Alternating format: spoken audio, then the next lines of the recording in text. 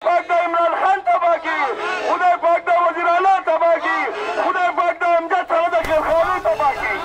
با برباد کا مهربانی وکا تاسو ټول د خیره وکای چې خدای پاک دا حکومت تباه کی خدای چې دا نقشه نه ده نو کومه نقشه ده راشه او دې خلکو ته هغه نقشه صفا کا وخیا هم دا کګه وګه نقشه ده نو خدای دې د دې د روغو سره تم. بسم الله الرحمن الرحیم د تحصیل په ریکورډ د تحصیل کبل او د مټې درنو مشرانو په جمع السلام علیکم حکومت ډیره ښکلې منصوبه روانه کړې ده او مونږ په دې د تحصیل په ریکورډ څا چې دا ټول سوات په دې خوشحاله دی خو په خپه په څه یو خپه په دې یو چې زمونږ زرعي ځمکو باندې موټروی را روان دی او پرون وزیراعلی صاحب په خپل تقریر کې وې په سوشل ميډيا چليږي پټه پناه نه وايو دروغ يې نه وايو وي وي دا کوږ وږ نقشه چې تاسو يې نه وي دا نقشه نه ده خدای دې په سترګو ړوند که خدای دې په ژبه چاړه کړه